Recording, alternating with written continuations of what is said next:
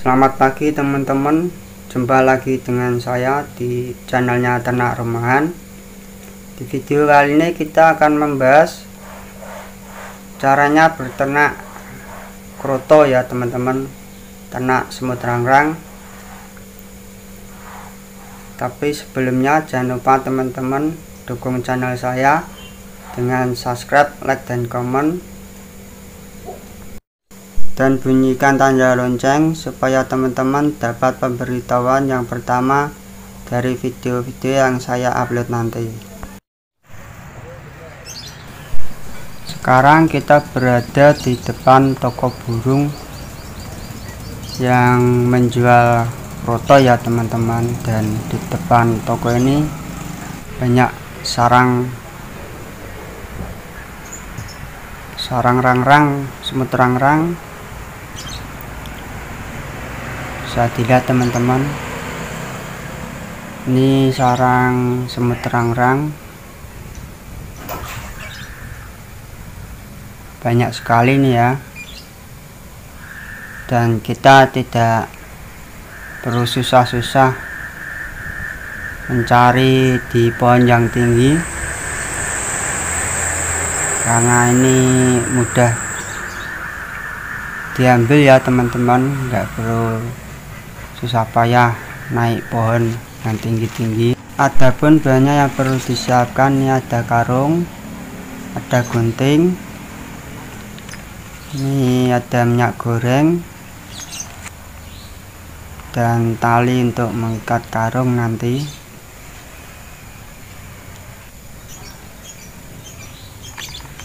Kita oleskan minyak goreng ke tangan dulu ya teman-teman seharusnya pakai tepung kanji ya. Ini berhubung situasinya darurat terpaksa pakai minyak goreng untuk mengurangi risiko digigit semut rang-rang ya teman-teman.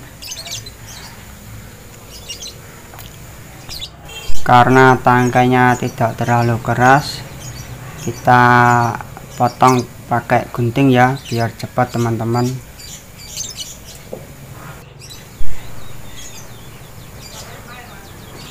tetap masih kena gigitan semut rangrang ya.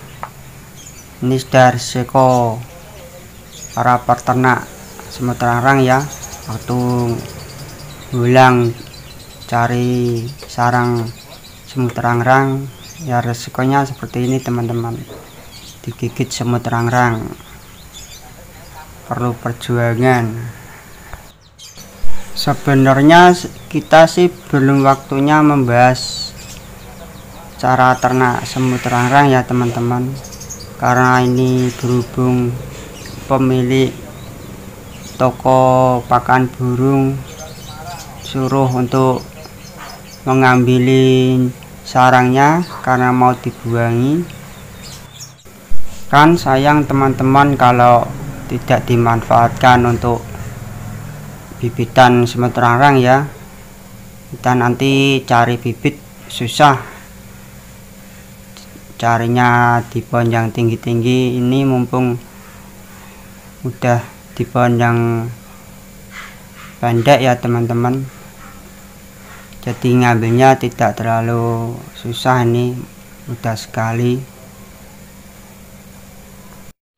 Jika teman-teman mau mencari sarang semut larang mudah sekali teman-teman. Cari saja di sekitar tanaman atau pohon ya di tempat toko pakan burung yang menjual kroto. Pasti ada semut rang-rangnya.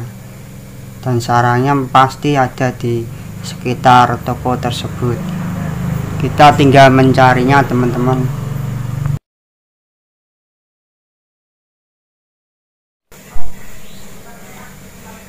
ini masih banyak sekali teman-teman sarangnya. Sarangnya ini kecil-kecil ya. Enggak kayak di tanaman pohon mangga itu sarangnya besar-besar. Tapi meskipun ini kecil-kecil tapi banyak sekali teman-teman. Meskipun pohonnya pendek ya.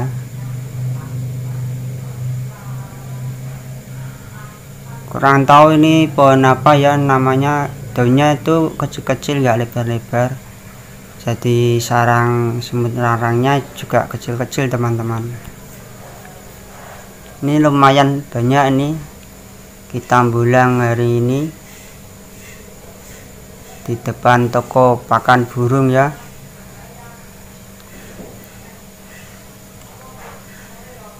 Ini acara bulang dadakan.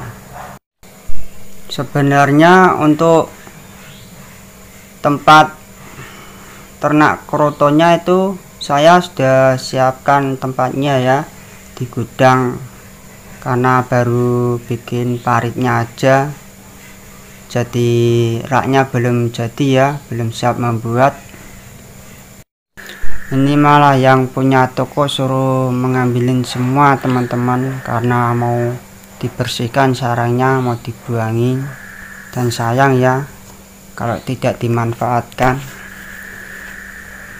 berhubung kita nantinya mau membahas ternak kroto juga ya meskipun belum belum siap untuk tempatnya teman-teman.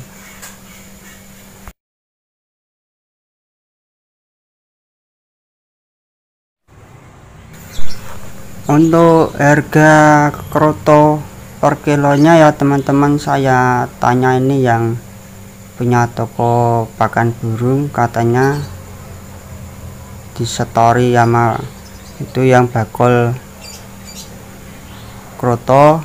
Per kilonya itu harganya sekitar 250.000 sampai 300.000 teman-teman. Itu per kilonya ditempatkan di besek ya lumayan teman-teman. Kalau dapat 4 kilo aja udah satu juta kira-kira.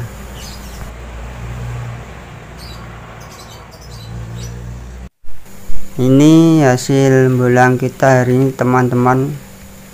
Di depan toko pakan burung ya. Acara bulan darurat ini. Mendadak sekali acaranya. Belum ada persiapan ini sementara kita taruh di kursi ya. Kursi darurat ini ceritanya. Yang kakinya ya dikasih sama oli.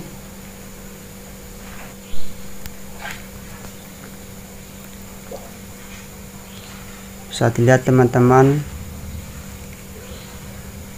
kakinya kita kasih piring terus kita kasih oli ya supaya tidak keluar ini semutnya.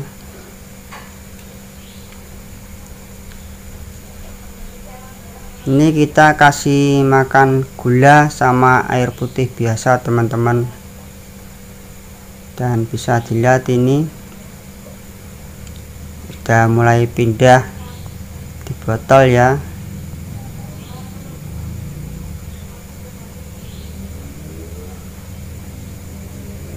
masih sedikit teman-teman. Ini mindahin telurnya telur krot krotonya ya. Ini masih kosong yang ini ini juga kosong. Kita maunya tiga botol ini satu kursi. Karena kita belum bisa bikin raknya teman-teman. Karena ini acara darurat ya. Mendadak sekali.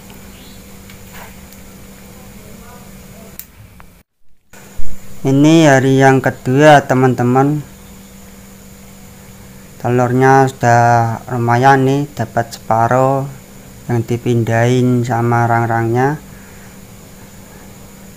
dan sepertinya cocok ya bisa beradaptasi.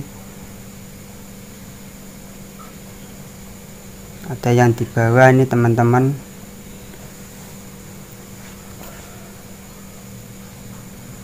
Lumayan banyak teman-teman.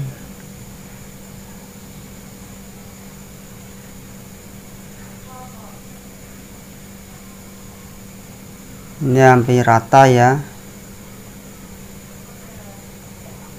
Satu botol.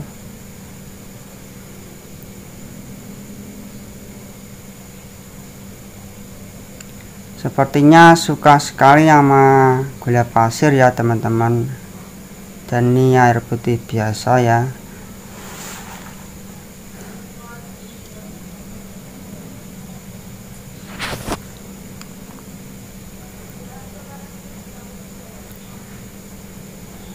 ini masih kosong yang di atas ini. Ini juga masih kosong.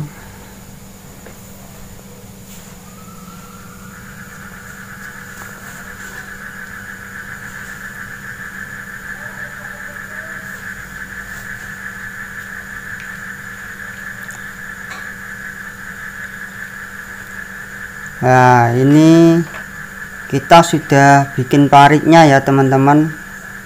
Nah, sudah siapkan pariknya ini.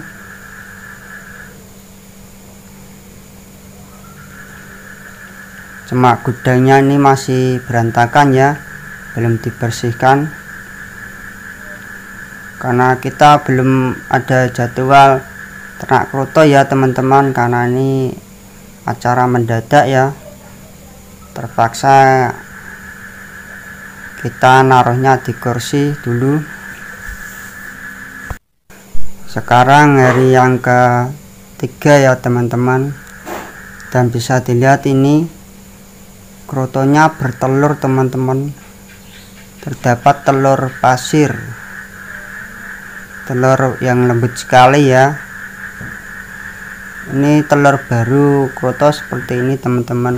Seperti pasir bentuknya kecil-kecil nah yang ini yang udah besar-besar telurnya sudah berkembang menjadi semut rang-rang ya.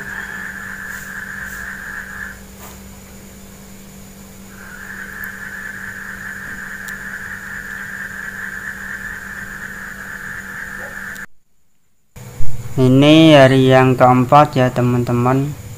Bisa dilihat ini botolnya sudah penuh ya dengan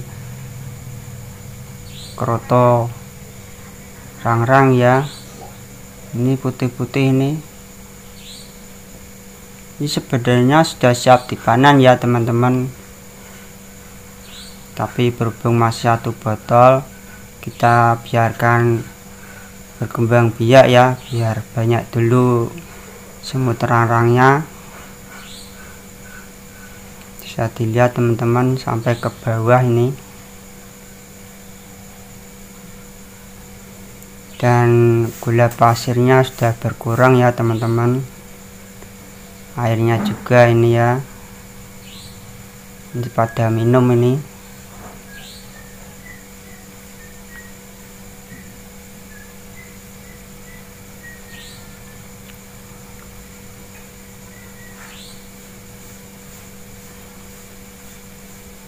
dan bisa dilihat ini yang botol paling atas. Sepertinya mau bikin sarang baru ini rang-rangnya karena mungkin sudah penuh ya satu botol. Dan ini masih kosong ya. Jarang dikunjungi sama semut rang-rangnya. Mungkin yang dipilih yang ini teman-teman untuk sarang baru nantinya.